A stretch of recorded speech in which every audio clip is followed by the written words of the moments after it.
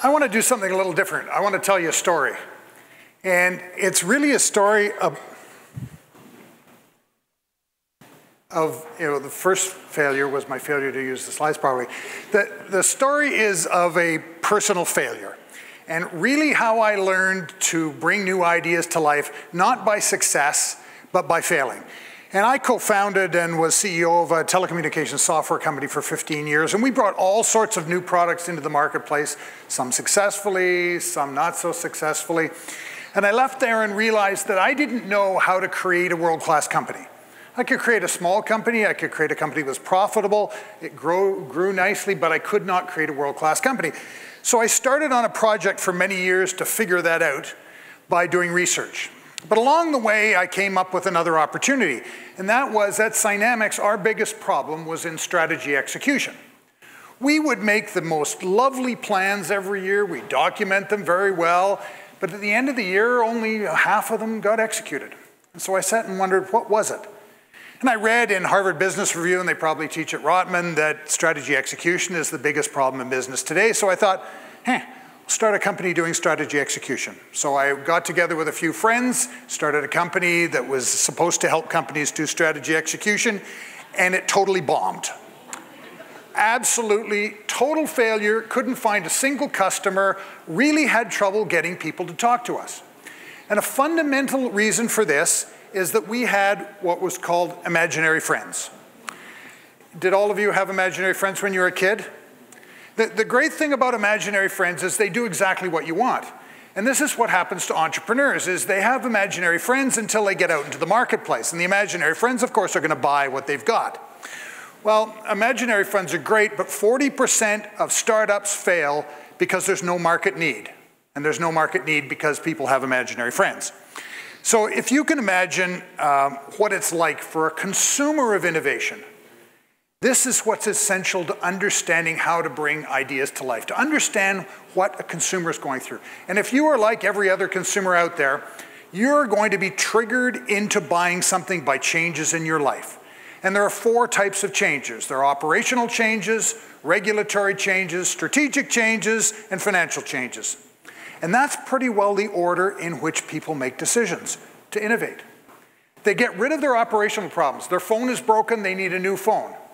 They get rid of the regulatory problems. The boss says, I have to have an iPhone and I can't use this lovely old Blackberry. They get rid of strategic ones if they have time left over from solving the operational and regulatory runs. And finally, they'll seek to save money. Now, unfortunately, mechanics went out there and found there was no trigger. Not only that, that there has to be a trigger, but people have to have a budget for purchasing. And we went out there and found there is nobody with a to-do list that includes get better at strategy execution and nobody with a budget for software for strategy execution. First problem. Second problem was Cloud Cuckoo Land. So Cloud Cuckoo Land is sort of like having an imaginary friends, and it's another world that if you can go to Aristophanes, you can read about Cloud Cuckoo Land. Um, people don't react positively to innovation. There are all sorts of barriers, and the behavioral economists amongst us talk about the barriers to innovation, people, the learning costs, the uh, status quo bias, the endowment effect, all sorts of barriers exist. Well, we went out there with a product that was so complex that people would have to re-engineer their entire operations to be able to put it into effect. Now, it worked because we were from small companies and it was possible to do that. But when you approach a large company with an idea that says you've got to learn how to use this software and change your whole approach to management at the same time, you've erected a significant barrier that even if there were a strong trigger, it's almost impossible to get over.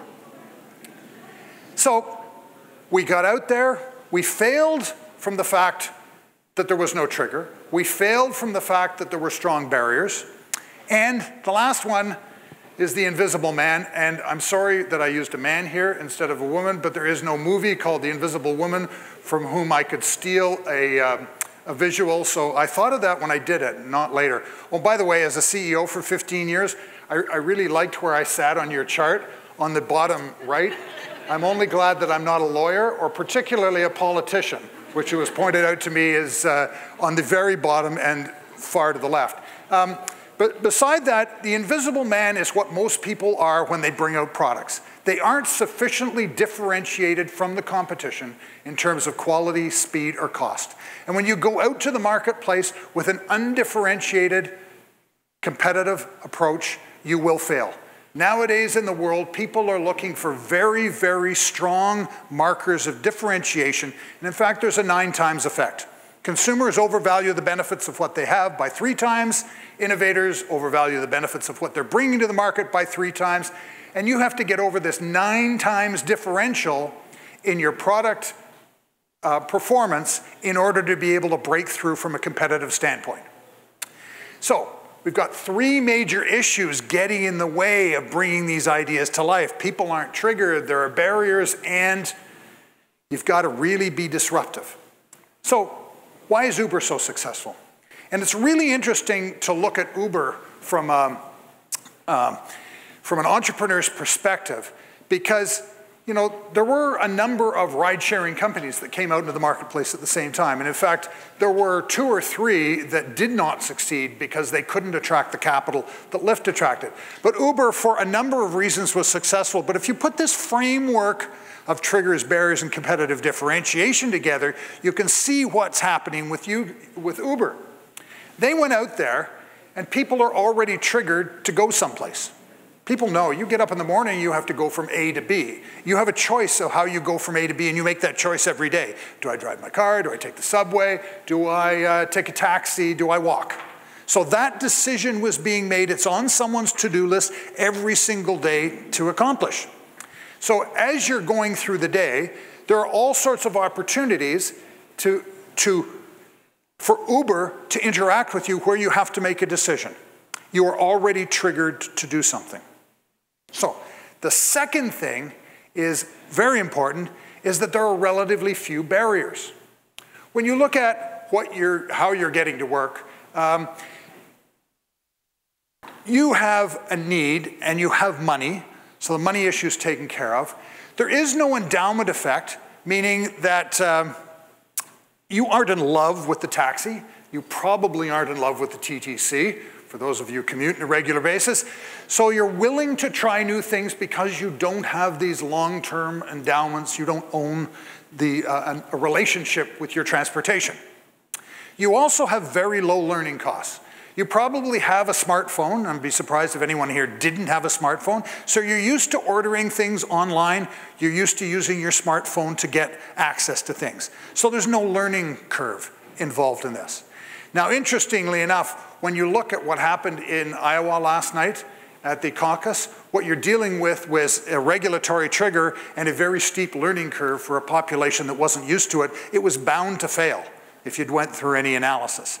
So, but Uber came into the marketplace where there were strong triggers and very, very few barriers. But the last thing and the most important thing is something that I thought they've done brilliantly.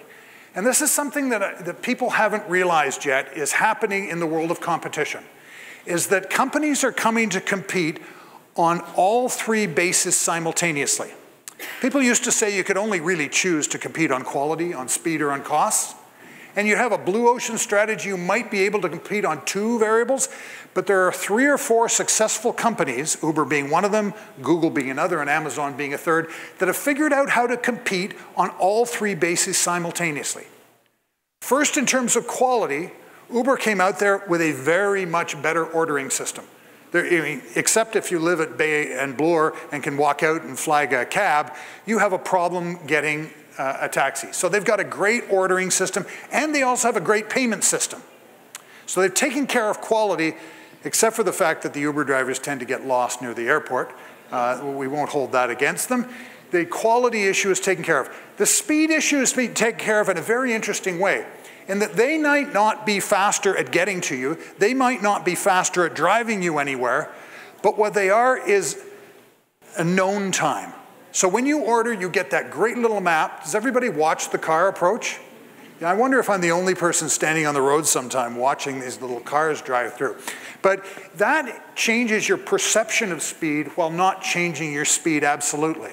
Because you actually know when the car will arrive. If you phone Beck Taxi, you haven't the faintest idea what time the car is going to arrive. It's, yeah, we'll get your car, and you'll stand there waiting forever, not knowing whether it's going to come or not. So your whole uh, personal relationship with speed has changed. The third dimension, they did an interesting thing. They changed the cost. But they changed the cost in two ways. They lowered the regular cost and increased for surge pricing to make up for that. So they've addressed quality, cost, and speed, and in disrupting the industry, are out there and so different from taxis, which is, let's say, the, the normal uh, competitor to it, that they've really made a, few, a huge difference. Bringing ideas to life, the key I found is dependent on overcoming humans' natural tendency not to change or to try new things. Those of you, how many people bought something new when they went grocery shopping last time? 10% of you. Now, you probably think of yourselves as innovators. That's only 10%. In a basket of $100, you're buying one new thing. You have ads affecting you every day to get you to innovate. You aren't naturally trying new things on a regular basis, and we have to overcome people's natural tendency not to try new things.